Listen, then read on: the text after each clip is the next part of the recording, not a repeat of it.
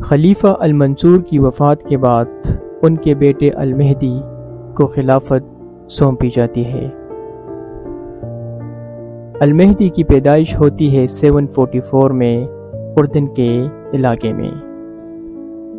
اس کی ماں کا نام مروا تھا اور باپ کا نام المنصور تھا۔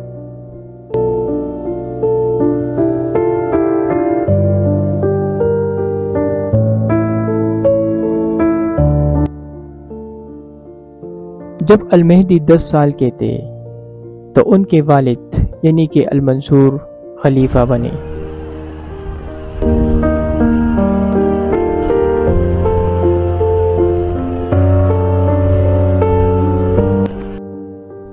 کچھ رپورٹس کے مطابق، المہدی کافی لمبا اور خوبصورت تھا اور وہ عورتوں کو پسند کرتا تھا۔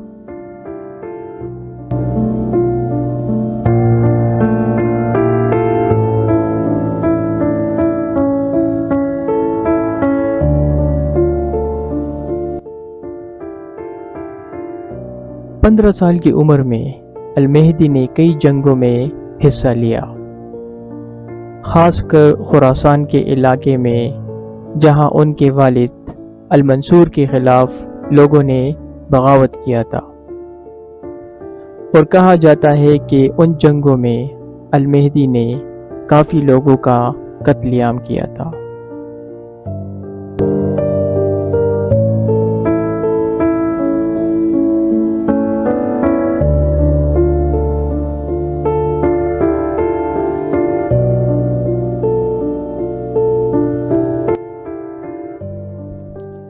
ان کا دور خلافت بھی ان کے والد المنصور کی طرح تھا۔ وہ کافی فیاض تھے اور مذہب کے معاملے میں کافی سخت تھے۔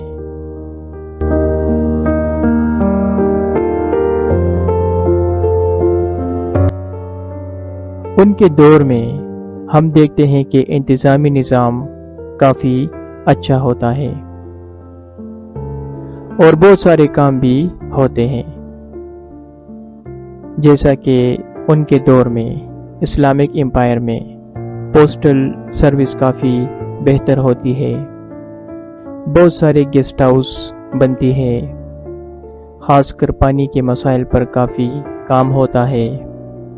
اور سڑکوں کی مرمت پر کافی توجہ دی جاتی ہے۔ اور خاص کر ان کے دور میں مسجد نبوی اور حرم شریف کو دوبارہ تعمیر کیا جاتا ہے۔ ان کے دور خلافت میں بغداد، جو کہ ان کا دارالحکومت تھا، ایک کمرشل سنٹر بنتا ہے۔ اور خاص کر موسیقی، شاعری اور فلسفے کی طرف لوگوں کا رجحان بڑھتا ہے۔